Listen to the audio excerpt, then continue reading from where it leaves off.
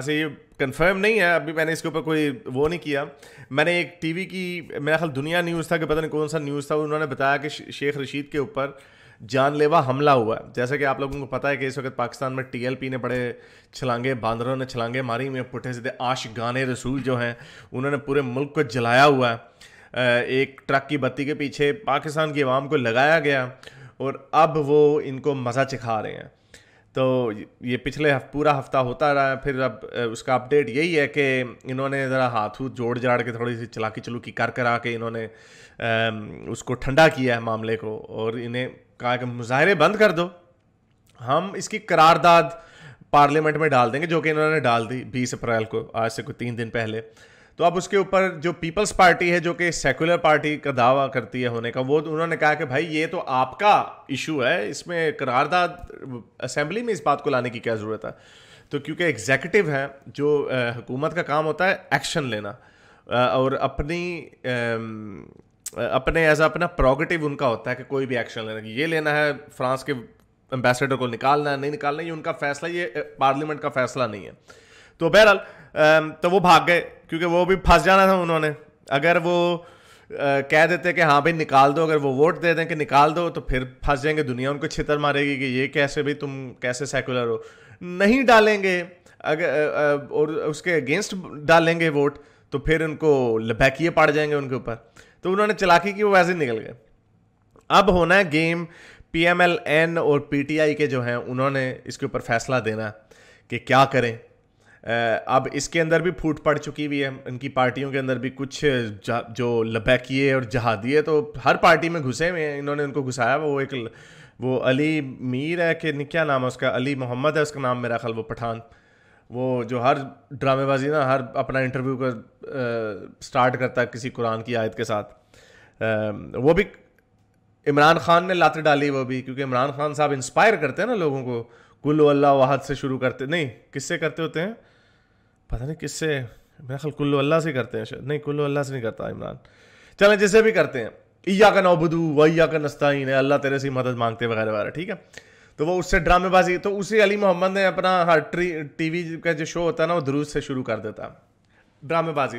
तो बहरहाल ये जब लबैक का इशू हो रहा था तो उन्होंने कहा, भाई अब क्या करें हम?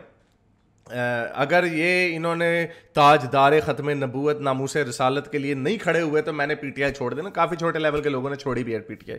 तो अंदर से फूट पड़ चुकी है ये इमरान खान या जो नवाज़ शरीफ है, वो अपनी लोगों को कह भी नहीं सकते खुल के कि, ओए, इसके खिलाफ वोट डालना है तुमने। वो भी नहीं कह सकते, पकड़े जाएँगे, फिर लबैकिए मारेंगे। और ये हो सकता है बगावत हो जब वो निकल जाए बीच में से। तो ये अब आ, कुछ लोगों से मेरी बात हो रही थी अंदर के लोगों से। तो वो मुझे कह रहे थे कि नहीं ये इसको ना डिले करेंगे जितना डिले कर सकते हैं। कुछ लोगों का ख्याल है कि शायद ये करारदाद पास हो जाएगी और फिर इनको एम्बेसडर निकालना पड़ेगा लेकिन फिर अगर ये नहीं डालेंगे उसको ऑनर नहीं करेंगे रेजोल्यूशन को तो फिर लबैकी सड़क पर आ जाएँगे। तो फिर इनको निकालना पड़ेगा। फिर जब ये निकालेंगे तो फिर आपको पहले ही पता है कि पाकिस्तान का क्या हाल है। मज़े की बात जो बांदर छलांगे मार रहे हैं रसूल अल्लाह की मोहब्बत में जो आशिकीन रसूल अल्लाह की मोहब्बत में छलांगे मारे जब इनके ऊपर इंटरनेशनल पाबंदियाँ लगेंगी, इनके एक्सपोर्ट्स नीचे जाएँगी, जब इनको और डॉलरों का फुकदान होगा, जब डॉलर कम हो जाएँगे, तब तब भी इन्होंने छलांगे मार मारनी हाय, लुटे गए, खाने को नहीं है, टींडे इतने महँगे हो गए, केले इतने महँगे हो गए, अब हम क्या करें? तब भी इन्होंने छलांगे मार दी तो ये एक अजीब कैच 22 इन लोगों ने बनाया है, जिसका करता धरता सारे मोमिन हैं। ये पाकिस्तान की स्टैब्लिशमेंट है। जैसे मैंने आपको पता नहीं, पहले अपनी इंग्लिश की वीडियो में मैंने ये कहा था कि जो उज्बैक हैं, ताजिक हैं, वो तो बड़े सख्त जंगजू किस्म के, चेचन, बड़े सख्त जंगजू किस्म के जहादी हैं। वो वो लोग हैं जो अलकायदा में सारी के सारे थे ही वही लोग जहादिए जो उधर से आते थे सेंट्रल एशिया से। तो वो क्यों नहीं, उन्होंने क्यों नहीं अपने शहर जलाए? उन्होंने क्यों नहीं मुजाहरे किए? क्योंकि उनकी इंडोक्ट्रिनेशन इश्क मोहब्बत पे नहीं हुई। मोहब्बत आशकान रसूल के ऊपर उनकी इंडोक्ट्रिनेशन नहीं उनकी इंडोक्ट्रिनेशन हुई है आपकी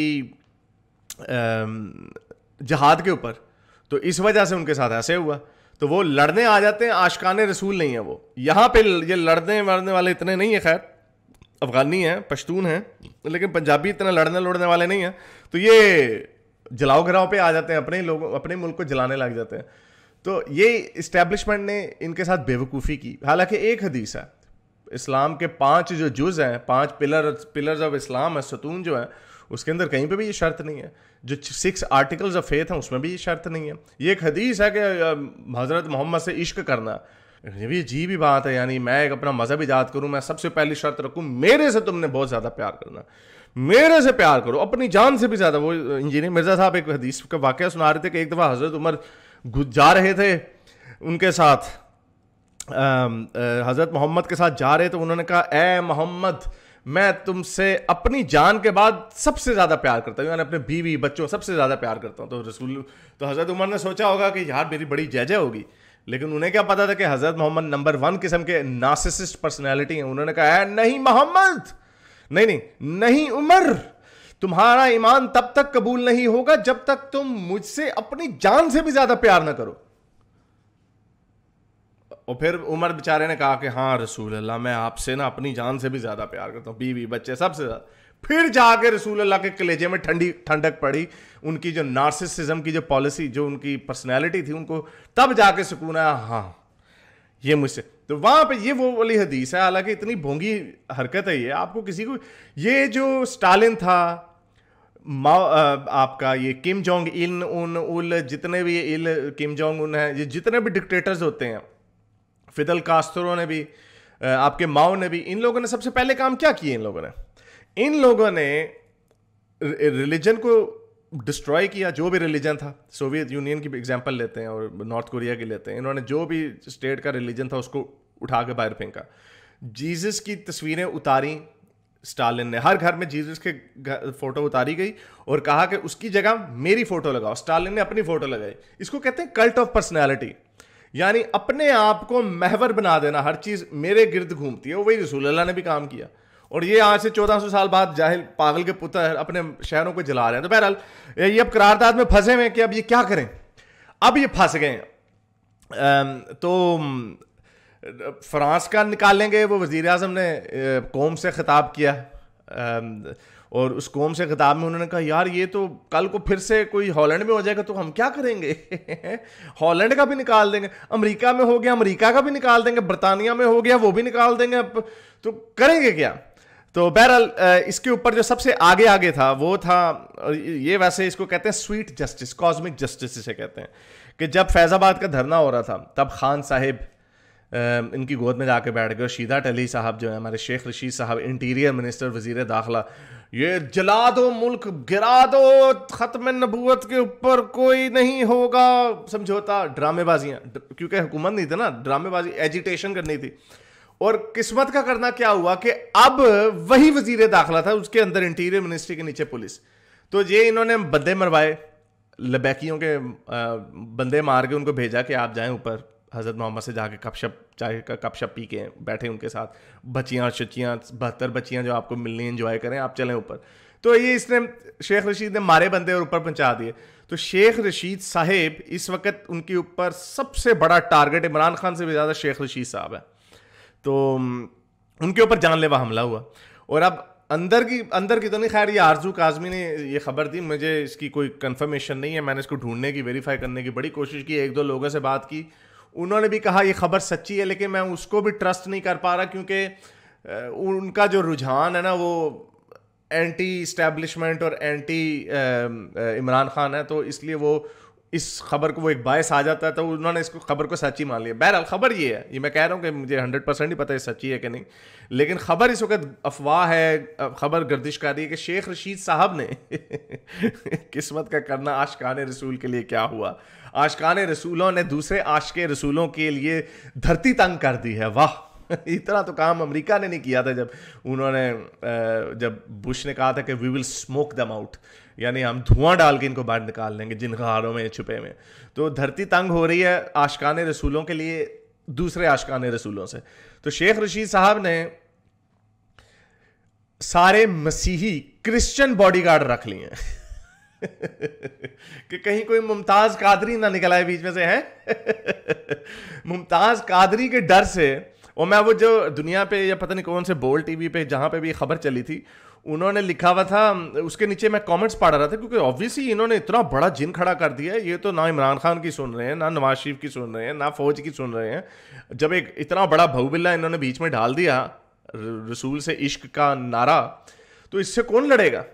ये बेचारे, मैं इनकी बेबसी पे हंस रहा था, अफसोस हो रहा था मुझे इनकी बेबसी पे और हँसी भी आ रही थी और खुशी भी हो रही थी थोड़ी सी, कि बेचारे बात करते हैं, पहले जुमला अपना डरे हुए डरे हुए, सहमे हुए। शुरू कहाँ से करते हैं अपना जुमला? रसूल अल्लाह की खातिर हम कट मरने के लिए तैयार हैं। रसूल अल्लाह हमारी आँख कतारा तारा है। किसी को हर गिज बर्दाश्त नहीं करेंगे। वगैरह वगैरह, खातमुल नबीन, हमारे आखिरी नबी, प्यारे आका वसल्लम, वगैरह वगैरह। बाद आधा घंटा गाना गाते हैं रसूल अल्लाह की शान में, फिर जाके कहते हैं, लेकिन एंड में जाके लेकिन जो इन्होंने पॉइंट देना होता है, क्योंकि इन्होंने ऐसा खड़ा कर दिया माहौल बना दिया कि जो सीधी बात है, बेचारे सीधे तरीके से कर ही नहीं सकते। डरे हुए, सहमे हुए कि खातमुल नबीन का खातमुल इधर उधर हो गया तो छितर पड़ेंगे। अलैहि वसल्लम नहीं सही, सल्लल्लाहु व आलैहि वसल्लम नहीं बोला सही तरीके से तो छितर पड़ेंगे। तो एंड में जाके कहते हैं, लेकिन यार ये कोई अच्छी बात तो और हालाँकि मौलवी जो है, बिल्कुल सही कह रहे हैं। भाई, आपने अगर कहा है कि रसूल अल्लाह सबसे ऊपर, इस्लाम और रसूल अल्लाह सबसे ऊपर, फिर उसके बाद पाकिस्तान है, उसके बाद फिर आपकी बाकी चीज़ें हैं तो ज़ाहिर बात है रसूल अल्लाह के लिए फिर कट मरो जाके। मौलवियों ने अगर थोड़ी बहुत ही जानों की कुर्बानियाँ दी भी हैं तो वो अपनी जगह पर ठीक है। ये जो ड्रामेबाजी करते हैं हमारे जो सियासतदान है कि रसूल अल्लाह के लिए हम कट मरने के लिए तैयार हैं, लेकिन फ्रांस के एम्बेसडर को नहीं निकाल सकते हम। ये कैसी ड्रामेबाजी है? फ्रांस का एम्बेसडर निकालना कट मरने से थोड़ी कम बात है। अगर लॉजिकली देखा जाए, इसमें क्या गलत बात है? वैसे तो हमें पता है कि बेवकूफ़ी है। ऑब्वियसली बेवकूफ़ी एक बंदा चौदह सौ साल पहले मर गया।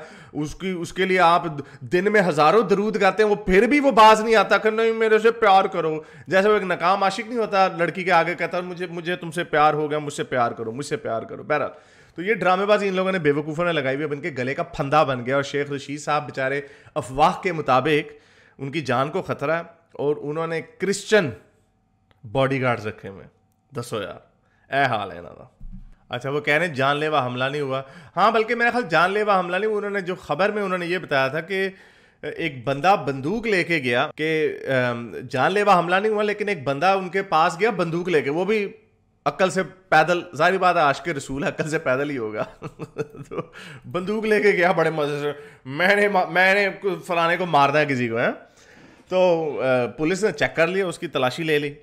तो वो उसकी फिर, उसको जेर हरासत उन्होंने अरेस्ट कर लिया उसे। मेरे इस नेक काम को जारी रखने के लिए मुझे पेपैल या पेट्रियन पे ज़रूर सपोर्ट कीजिए, ताकि मैं अपना पैगाम ज़्यादा से ज़्यादा लोगों तक पहुँचा सकूँ।